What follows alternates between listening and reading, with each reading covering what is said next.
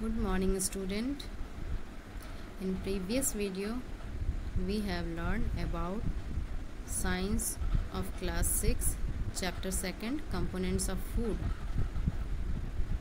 In that video we have we have seen there how we test starch how we test uh, carbohydrate and how can we test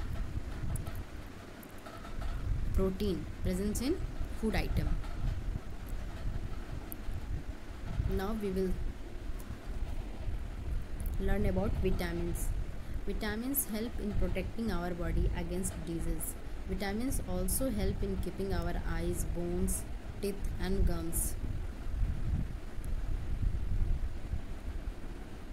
healthy vitamin are of different kinds known by different names vitamin हमें पिछले video में हमने देखा था। Carbohydrate test कैसे करते हैं? Protein test कैसे करते हैं? और हम फैट का टेस्ट कैसे करते हैं? अब इस वीडियो में हम देखेंगे विटामिन विटामिन क्या है? ये हमारे शरीर के लिए क्यों ज़रूरी है? विटामिन हमारे शरीर को बीमारियों से लड़ने की क्षमता प्रदान करता है। विटामिन हमारी आइज़ बोन्स, टिथ और गम्स को हेल्दी रखता है। Vitamin are of different kinds, known by different names. Vitamin के बहुत सारे काइंड, बहुत सारे प्रकार हैं और इनके अलग अलग नाम हैं। Some of these are vitamin A, vitamin C, vitamin D, vitamin E and K. यहाँ पे कुछ विटामिन दिए हुए हैं, A, C, D, E and K. There is also a group of vitamin called vitamin B complex यहाँ पे vitamin B complex को कहलाता है group of vitamin group of vitamin जो है, उसे हम विटामिन बी कॉम्प्लेक्स के नाम से जानते हैं। Our body needs all types of vitamin in in small quantities हमारे शरीर को सभी प्रकार के विटामिन की ज़रूरत होती है थोड़ी थोड़ी मात्रा में। Vitamin A keeps our skin and eyes healthy vitamin A जो है हमारे आँखों को, हमारे स्किन को हेल्दी रखता है। Vitamin C helps body to fight against many diseases vitamin C क्या करता है? ये हमारे शरीर में डिज़ीज़ से लड़ने की क्षमता प्रदान करता है। Vitamin D helps our body to use calcium for bones and teeth vitamin D जो है, ये हमारे शरीर के लिए क्या करता है? ये हमारे शरीर को टिथ और बोन्स के लिए कैल्शियम यूज़ करके इनको स्ट्रॉन्ग बनाता है foods that are rich in different vitamin are shown in figure 2.6 to 2.9 अब हम यहाँ फिगर 2.6 से 2.9 में देख सकते हैं कि किन किन विटामिन ए कौन कौन से सोर्स हैं विटामिन ए के। विटामिन बी के क्या क्या सोर्स हैं? देखिए विटामिन ए के some sources of vitamin A जो पाए जाते हैं papaya carrot mango fish oil और मिल्क में। यहाँ पे some sources of vitamin B जो कि आपको फिगर 2.7 में दिख रहा है। इसके सोर्सेज क्या क्या हैं? राइस वीट एंड लीवर अब हम विटामिन सी देखेंगे। विटामिन सी यहाँ आप देख पा रहे होंगे। ये क्या है? Guava green chilli lemon amla tomato और ऑरेंज इन चीज़ों में विटामिन सी पाया जाता है। इसको हम ऐसे भी समझ सकते हैं जितने भी साइट्रस फ्रूट होते हैं फ्रूट उस साइट्रस फ्रूट में क्या होता है? विटामिन सी पाया जाता है। अब हम बात करते हैं some sources of vitamin D की। तो विटामिन डी देखिए हमें फ़िश से एग से लीवर से बटर और मिल्क से और साथ ही हमें विटामिन डी सनलाइट से भी मिल जाता है। तो अब हम आगे बढ़ते हैं। देखिए यहाँ पे our body also prepare vitamin D in the presence of sunlight Nowadays, insufficient exposure to sunlight is causing vitamin D deficiency in many people क्या होता है, हमारे शरीर में विटामिन डी सनलाइट के द्वारा भी बनता है। सनलाइट के प्रेजेंस में भी विटामिन डी हमारे बॉडी को मिल जाता है और आजकल जो है सो, बहुत ज़्यादा सनलाइट में जो प्रॉब्लम आ रही है अल्ट्रा वायलेट रेज़ की वजह से, जिसकी वजह से हमारे अंदर विटामिन डी की डिफिशियंसी पाई जा रही है।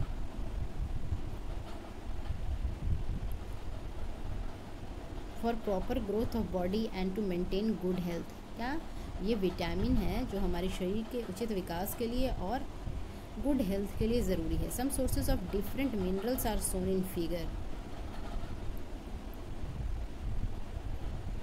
यहाँ पे देखिए, यहाँ पे मिनरल्स की बात हम कर रहे थे। Minerals are needed by our body in small amounts minerals भी हमारे शरीर को थोड़ी सी मात्रा में चाहिए। इच वन इज़ एसेंशियल इनमें से जितने भी अब तक हमने पढ़ा, वो सारे के सारे हमारी बॉडी के लिए ज़रूरी हैं। यहाँ देखिए मिनरल्स की बात हम कर रहे थे for proper growth of body and to maintain good health minerals जो हैं हमारे शरीर का उचित विकास करते हैं और हमारे शरीर का आ, हमें हमारी बॉडी का हेल्थ मेंटेन रखते हैं। Some sources of different minerals are shown in figure two point ten two point ten देखिए फिगर यहाँ दिखाया गया है आपको ये टू पॉइंट टेन के फिगर में जो कुछ सोर्सेज हैं सम सोर्सेज ऑफ़ मिनरल्स देखिए यहाँ पे। किस किस फ़ूड आइटम में कौन कौन से मिनरल्स पाए जाते हैं। Most food items usually have more more than one nutrient कभी कभी क्या होता है, एक ही फ़ूड आइटम में एक से ज़्यादा न्यूट्रिएंट पाए जाते हैं। You may have notice this while recording your observation in table 2.2 आपने जो ऑब्जर्वेशन टेबल 2.2 बनाया है, उसमें रिकॉर्ड करते समय आपने ये बातें नोटिस की होगी कि एक ही फ़ूड आइटम में कई प्रकार के न्यूट्रिएंट्स पाए जाते हैं। यहाँ देखिए आयोडीन जो है हमें इन सारी चीज़ों से मिल जाता है। यहाँ पे जिंजर है शाल्ट है फ़िश है, इन सारी चीज़ों से हमें आयोडीन मिल जाता है। और यहाँ पे हम आगे देखते हैं some sources of phosphorus phosphorus के लिए हमें बनाना राइस वीट मिल्क और चिल्ली इन सारी चीज़ों से हमें फॉस्फोरस मिल जाता है। Some sources of iron iron हमें किन किन चीज़ों से मिल जाता है? यहाँ देखिए एप्पल है शायद यहाँ पे पेयर्स नज़र आ रहा है लीवर है और स्पाइनच है। Some sources of calcium calcium हमें किन सोर्स से मिलता है? देखिए मिल्क और एग इनसे हमें कैल्शियम मिल जाता है। अब हम आगे बढ़ते हैं। However, in a given raw material, one particular nutrient may be present in much larger quantity than in others.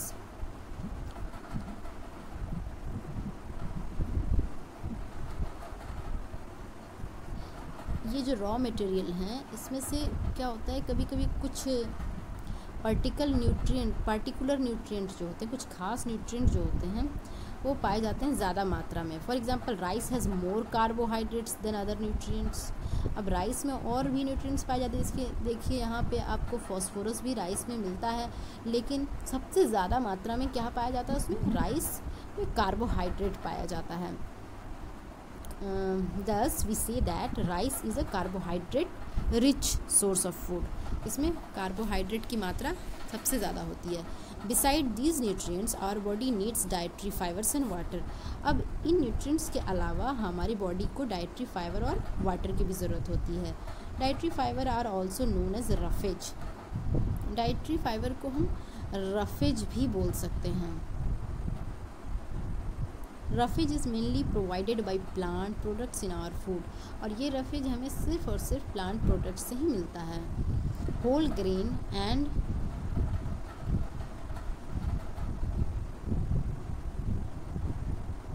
whole grain and water helps our body to absorb nutrients from food यहाँ क्या होता है? Whole grain और water जो है water helps our body to absorb nutrients from food ये food से nutrient को एब्जॉर्ब करते हैं. It also helps in throwing out some waste from body as urine and sweat और ये क्या हेल्प करते हैं हमारी? वेस्ट को बॉडी से बाहर एक्सक्रेट करने में यूरिन या फिर स्वीट के रूप में देखिए. वेस्ट को बॉडी से बाहर थ्रो आउट कर देते हैं. Normally we get most of the water that our body needs from the liquids we drink normally क्या होता है?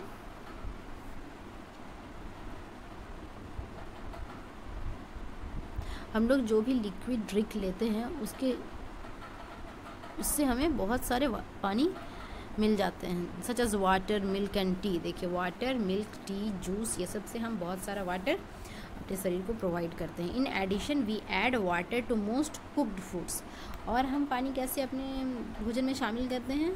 हम ड्यूरिंग कुकिंग जब हम खाना बनाते हैं तो उस टाइम भी हम अपने फ़ूड आइटम में वाटर ऐड करके अपने बॉडी को वाटर प्रोवाइड करते हैं।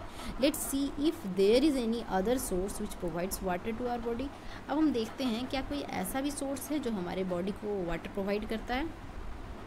एक्टिविटी थ्री हम यहाँ देखेंगे take a tomato or a fruit like lemon activity three में हम एक टोमेटो या फिर लेमन लेंगे। Cut it into small pieces इसे हम छोटे पीस में काटेंगे। Do your hands get wet while doing so क्या आपके हाथ गीले हो गए? आपको एक टोमेटो या लेमन कट करते समय स्मॉल पीसेस में आपके हाथ अगर गीले हो गए carefully observe whenever vegetables and fruits are being cut peeled grated और मैस्ड एट योर होम आप ध्यान से देखेंगे कि जब कभी भी सब्ज़ी, फल या फिर आप इनको पील करते हैं या ग्रेटेड या फिर मैस्ड करते हैं तो अपने घरों में अगर आपके हाथ गीले हो जाते हैं that means it contains water do you find any fresh vegetable or fruits that do not contain some amount of water आपने ऐसा भी कभी पाया है क्या कि कोई फ्रेश वेजिटेबल या फ्रूट हो जिसमें पानी की मात्रा बिल्कुल नहीं हो? We see that many food materials themselves contain water हम लोगों ने क्या देखा? बहुत सारे फ़ूड मटेरियल हैं जो जिसमें पानी पाया जाता है।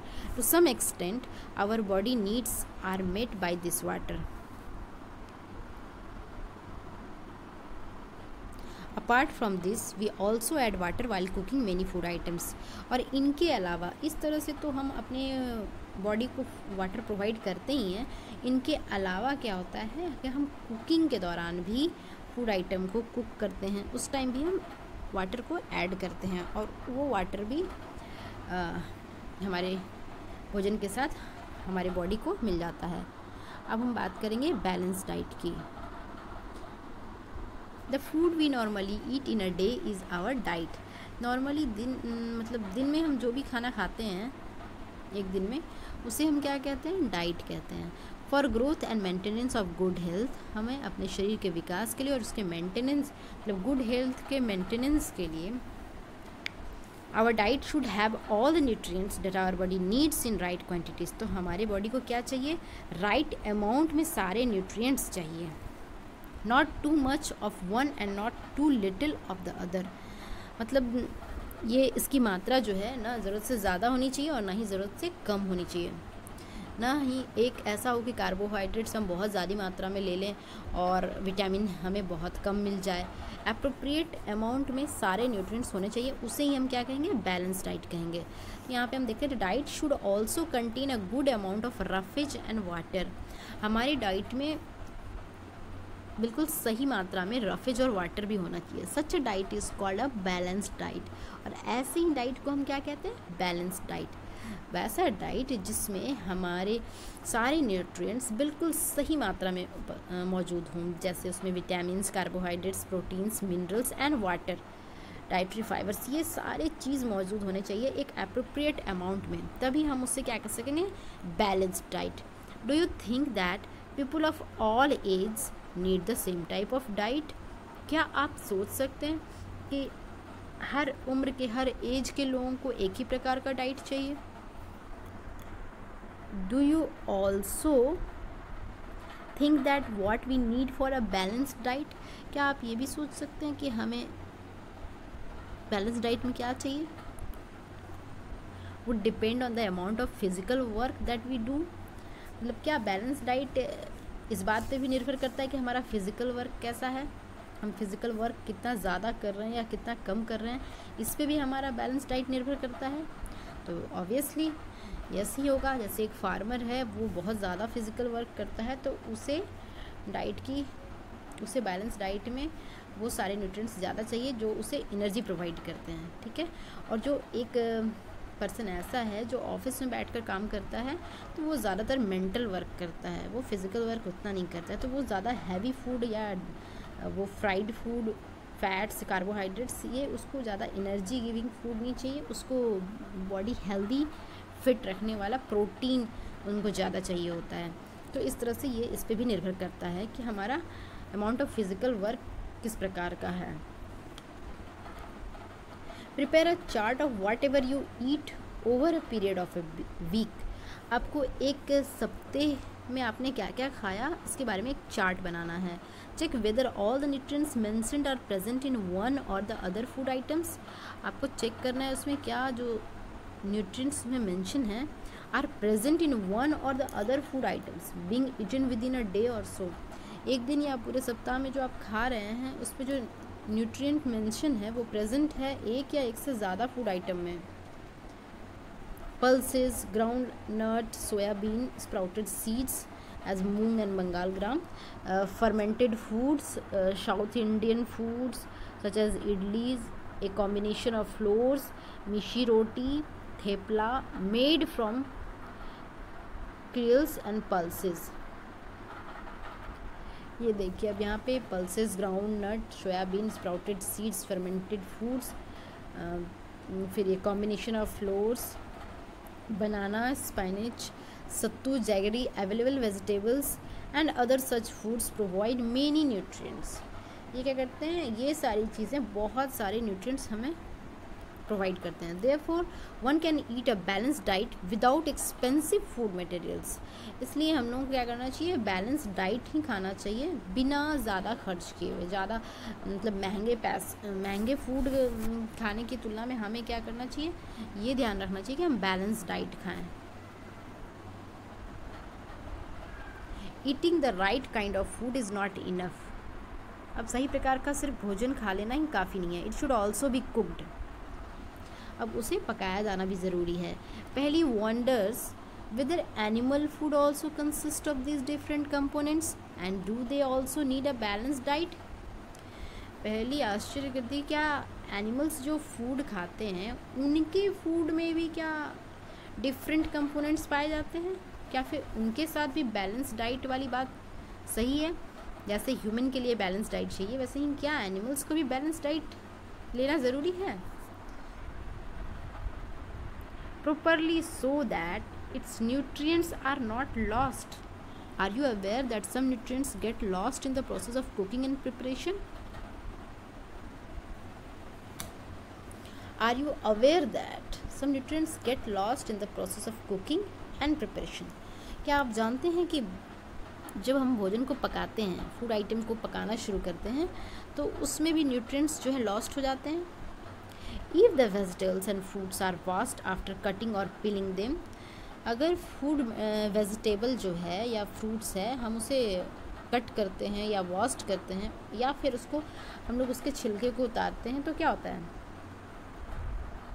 It may result in the loss of some vitamin उसमें क्या होता है? जो भी न्यूट्रिएंट्स विटामिन है, वो वो सब निकल जाते हैं वेस्ट चले जाते हैं। The skins of many vegetables and fruits contain vitamin and minerals अब क्या होता है, इनके जो ऊपर वाले सरफेस पे, ये वेजिटेबल या फ्रूट्स के ऊपर वाली स्किन पे क्या होता है, बहुत सारे विटामिन और मिनरल्स पाए जाते हैं। Similarly repeated washing of rice and pulses may remove some vitamin and minerals present in them और इसी तरह से क्या होता है?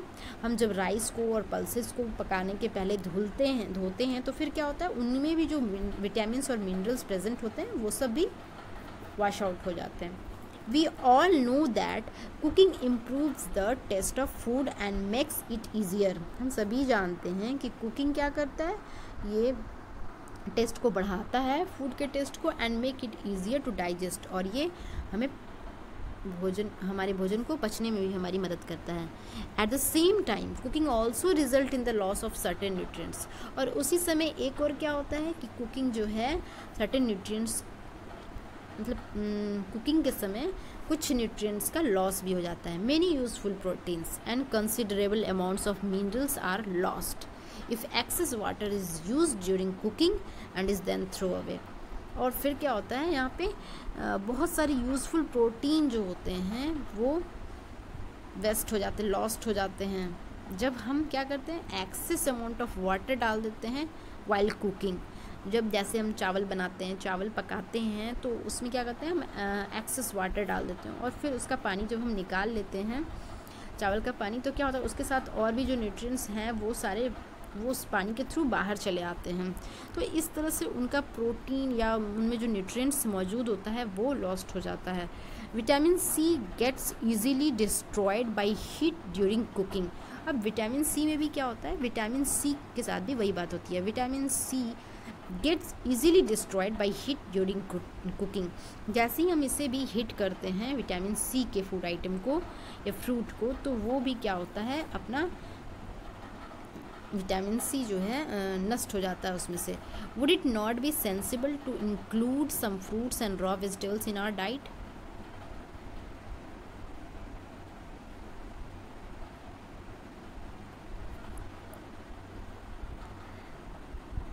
Bujo thought that fats would be the best foods to eat all the time. अब बूझो को ऐसा लगता है कि फैट्स जो है बहुत बेस्ट फ़ूड है तो एनी टाइम उसे फैट्स कंटेनिंग फ़ूड ही खाना चाहिए। वो क्या करता है, एक katori of fat will give much more energy than a katori of carbohydrate rich food isn't it अब ऐसा लगता है बूझो को कि एक कटोरी जो फैट गिविंग फ़ूड है, वो ज़्यादा एनर्जी देता है कार्बोहाइड्रेट की तुलना में। तो एक कटोरी कार्बोहाइड्रेट रिच फ़ूड की अपेक्षा वो एक कटोरी फैट रिच फ़ूड खाना ज़्यादा पसंद करता है या एनी टाइम खाना शुरू कर देता है। तो क्या ये सही है? So he ate nothing but food rich in fats fried food like samosa and puri snacks malai rabri and पेड़ा और क्या करता है वो ऐसा सोचने के बाद वो सिर्फ़ फ्राइड फ़ूड समोसा, पूरी, मलाई, रबड़ी, पेड़ा, यही सब खाना शुरू कर देता है। Do you think he was right अब आप सोच सकते हैं, क्या उसने सही किया? क्या वो सही कर रहा है? या उसने जो भी किया, वो सही है? नो ऑफकोर्स नॉट नहीं, वो बिल्कुल सही नहीं। It can be very harmful ये क्या होगा? उसके लिए आगे चलकर परेशानी का कारण बनेगा। For us to eat too much of fat rich foods and we may end up suffering from a condition called obesity. और बाद में आगे चलकर क्या होगा? उसे ओबेसिटी से पीड़ित होना पड़ेगा। अब हम देखते हैं, हमारा नेक्स्ट टॉपिक है 2.4 deficiency disease a person may be getting enough food to eat ठीक है? एक पर्सन को काफ़ी फ़ूड दिया जाता है खाने के लिए, काफ़ी मतलब अच्छी मात्रा में दे दिया जाता है। But sometimes the food may not contain a particular nutrient कभी कभी क्या होता है, उस फ़ूड में पर्टिकुलर न्यूट्रिएंट कुछ खास न्यूट्रिएंट्स जो मौजूद नहीं होते हैं, उनकी कमी होती है। If this continue over a long period of time अगर ऐसा ही कंटिन्यू चलता रहा द पर्सन में सफ़र फ्रॉम इट्स डिफिशियंसी तो क्या होगा? वो व्यक्ति उस उस न्यूट्रिएंट्स की कमी को सफ़र करने लगेगा। Deficiency of one or more nutrients can cause disease or disorder in our body और यही डिफिशियंसी एक या एक से अधिक न्यूट्रिएंट्स का लंबे समय तक जो डिफिशियंसी होता है, इसकी वजह से, कमी हो जाने की वजह से क्या होता है? बहुत सारे डिसीज़ या डिसऑर्डर हमारी बॉडी में होने लगते हैं। Disease that occur due to lack of nutrients over a long period are called deficiency disease और वैसी बीमारी जो हमारे शरीर में न्यूट्रिएंट्स की कमी की वजह से होती है। लंबे समय तक कोई न्यूट्रिएंट्स की कमी हो गई है, उसकी वजह से होती है तो उसे ही हम कहते हैं deficiency disease if a person does not get enough proteins in his or her food for a long time he or she is likely to have stunted growth अच्छा यहाँ हम देख लेते हैं। देखिए, इसका एक एग्ज़ाम्पल है डिफिशियंसी डिज़ीज़ का। एक व्यक्ति को क्या हुआ? काफ़ी लंबे समय तक उससे उसके भोजन में जो है, प्रोटीन की कमी हो गई। तो फिर बाद में आगे चल के उससे क्या होता है she likely to have stunted growth swelling of face उसके फेस स्वेल कर जाते हैं और फिर उसका ग्रोथ भी रुक जाता है। अगर उसे लंबे समय तक प्रोटीन की कमी रह जाती है तो डिसकलरेशन ऑफ़ हेयर उसके बाल में डिसकलरेशन का की शिकायत हो जाती है। स्किन डिज़ीज़ एंड डायरिया और फिर उसे स्किन डिज़ीज़ और डायरिया भी हो सकते हैं। ये प्रोटीन की कमी से होने वाली डिज़ीज़ हैं। If the diet is deficient in both carbohydrates and protein for a long period of time if the diet is deficient in both carbohydrates and proteins for a long period of time the growth may stop completely यहाँ पे क्या कह रहा है? अगर diet में दोनों चीज़ों की कमी हो जाए, जैसे कार्बोहाइड्रेट्स और प्रोटीन लंबे समय तक इन दोनों चीज़ों की कमी हो जाए तो क्या होगा? शरीर का विकास भी रुक जाएगा। बिल्कुल पूरी तरह से शरीर का विकास एकदम रुक जाएगा।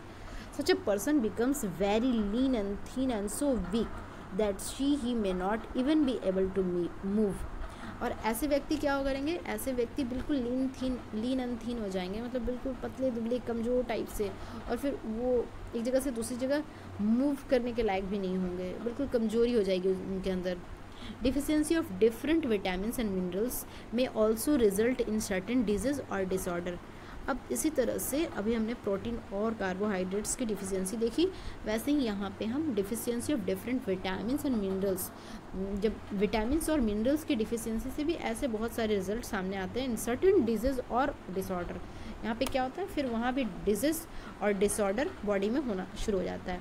Some of these are mention in table two point three table 2.3 में आपको कुछ डिज़ीज़ या डिसऑर्डर जो विटामिन की कमी से होते हैं या मिनरल्स की कमी से होते हैं, दर्शाए गए हैं।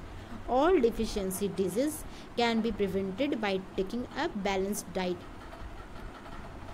अब ये डिफिशियंसी डिज़ीज़ को दूर करने का बस एक ही तरीका है बैलेंस डाइट लेना चाहिए।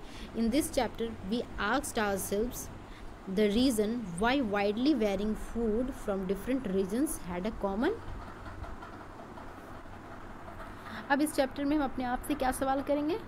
Why widely varying food from different regions had a common distribution ये जो है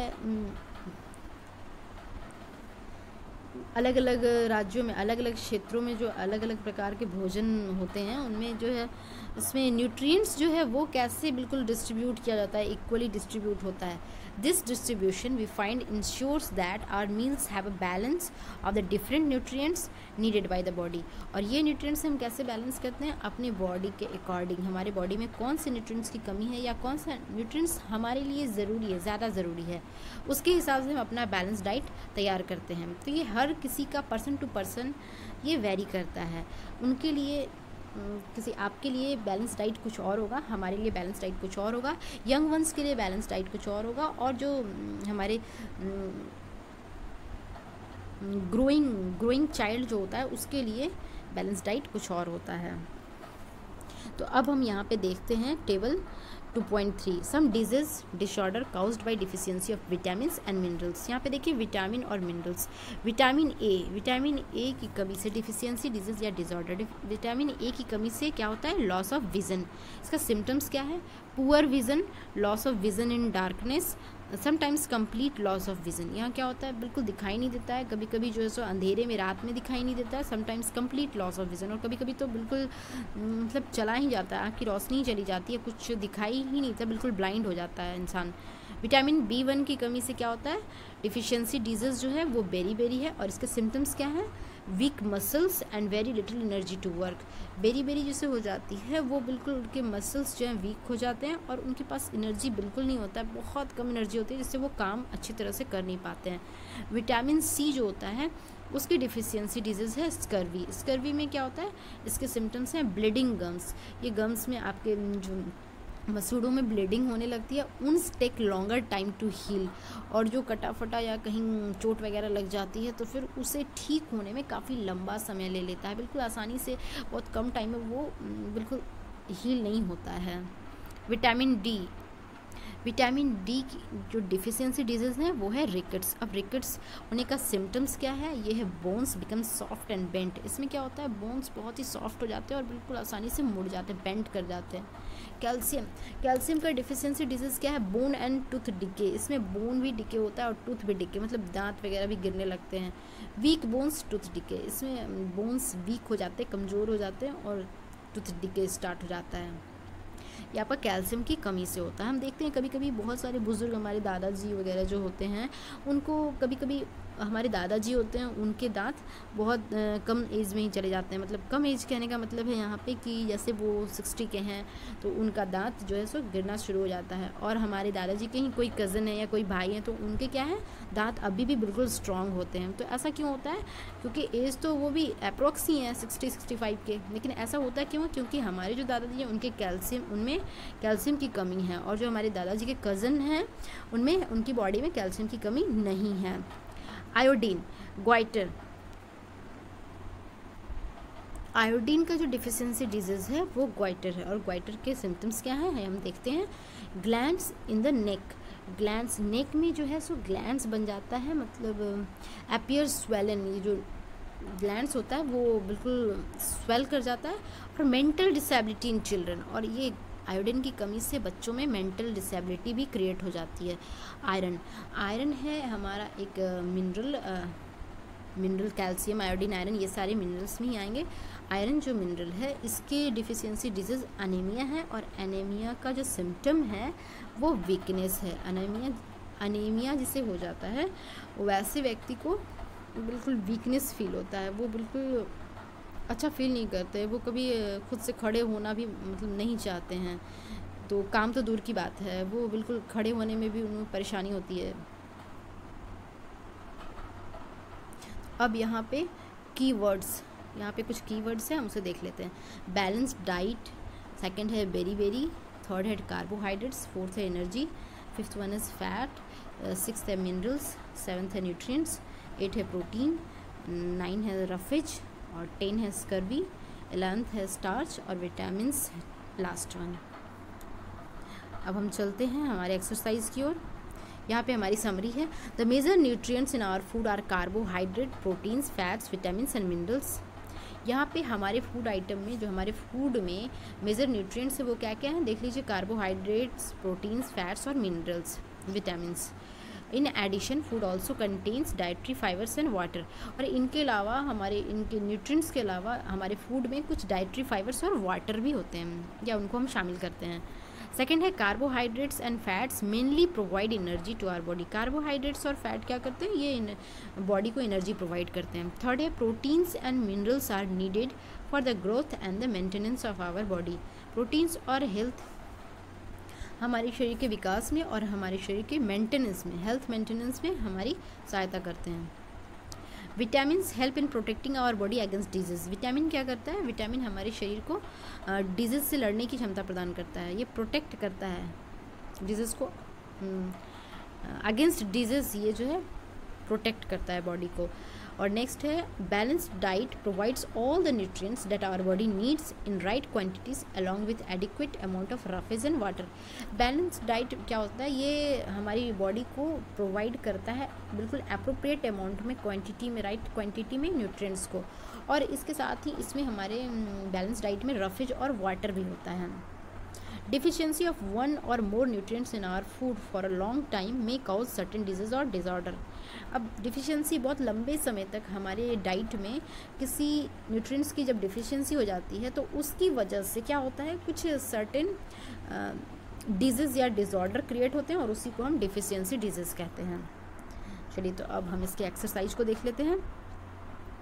Name the major nutrients in our food अब हम हमारे भोजन में मेजर न्यूट्रिएंट्स क्या क्या है? उसका नाम आपको लिख देना है।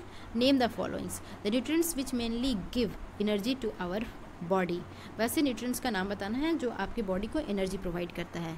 बी नंबर है the nutrients that are needed for the growth and maintenance of our body B number में है वैसे न्यूट्रिएंट्स का नाम बताना है जो आपके बॉडी को ग्रोथ और मेंटेनेंस के लिए हेल्प करता है। सी नंबर है a vitamin required for maintaining good eyesight आपके आँखों के अच्छी रोशनी के लिए कौन सा विटामिन ज़रूरी है? उसका नाम लिखना है आपको। डी नंबर है a mineral that is required for keeping our bones healthy वैसे मिनरल्स का नाम बताना है जो आपके बोन्स को हेल्दी रखता है। Name two foods each rich in अब फैट्स जो है, यहाँ पहला है ए फैट्स फैट्स कौन से दो फ़ूड आइटम आप बताएँगे जिसमें फैट्स अधिक मात्रा में पाया जाता है? और फिर बी है स्टार्च कोई दो ऐसे फ़ूड आइटम का नाम बताइए जिसमें स्टार्च अधिक मात्रा में पाया जाता है। सी है डाइट्री फाइबर डाइट्री फाइबर कौन से ऐसे फ़ूड आइटम में पाया जाता है? कौन से ऐसे दो फ़ूड आइटम का नाम आपको बताना है जिसमें डायट्री फाइबर बहुत ज़्यादा मात्रा में पाया जाता है? डी है प्रोटीन दो ऐसे फ़ूड आइटम का नाम आपको लिखना है यहाँ पे जिसमें प्रोटीन अधिक मात्रा में पाया जाता है। नेक्स्ट हमारा है fourth number tick the statement that are correct A है by eating rice alone we can fulfil nutritional requirement of the our body क्या हम सिर्फ़ चावल खा करके अपनी सारी जो रिक्वायरमेंट है न्यूट्रिशनल रिक्वायरमेंट उनको फुलफिल कर सकते हैं? ट्रू या फॉल्स आपको यहाँ बताना है। बी है deficiency disease can be prevented by eating a balance diet deficiency disease को हम प्रिवेंट कर सकते हैं, हम इससे बच सकते हैं कैसे? बैलेंस डाइट के द्वारा बैलेंस डाइट ले करके ट्रू है या फॉल्स है, ये आपको बताना है। C balance diet for the body should contain a variety of food items यहाँ पे क्या होगा? Balance diet for the body should contain a variety of food items balance diet में बॉडी के लिए जो बैलेंस डाइट हम लेते हैं, उसमें क्या होता है? बहुत सारे फ़ूड आइटम होने चाहिए। ऐसा ज़रूरी है क्या? ये ट्रू है या फॉल्स है? आपको बताना है। डी है meat alone is sufficient to provide all nutrients to the body क्या मीट में सफिशियंट न्यूट्रिएंट पाए जाते हैं? जो बॉडी को चाहिए, उसके लिए सफिशियंट है? सारे न्यूट्रिएंट्स ये प्रोवाइड करता है बॉडी को? ट्रू है या फॉल्स है? या आप बताएँगे। Fill in the blanks A dash is caused by deficiency of vitamin D यहाँ पे हो जाएगा, क्या होगा? Rickets is caused by deficiency of vitamin D B में हो जाएगा deficiency of dash causes a disease known as beriberi यहाँ पे बताना है आपको बेरी बेरी किस न्यूट्रिएंट्स की कमी से होता है? आपको यहाँ इस ब्लैंक्स को भर देना है। सी नंबर है deficiency of vitamin C causes a disease known as अब विटामिन सी जो है, वो उसकी डिफिशियंसी से कौन सा डिज़ीज़ होता है, उसका नाम आपको यहाँ लिखना है। डी नंबर में night blindness is caused due to deficiency of dash in our food night blindness जो है, वो किस न्यूट्रिएंट्स की डिफिशियंसी से होता है? हमारे फ़ूड में किस चीज़ की डिफिशियंसी होती है? जिसकी वजह से नाइट ब्लाइंडनेस हो जाता है। चलिए, ये हमारा चैप्टर कंप्लीट होता है।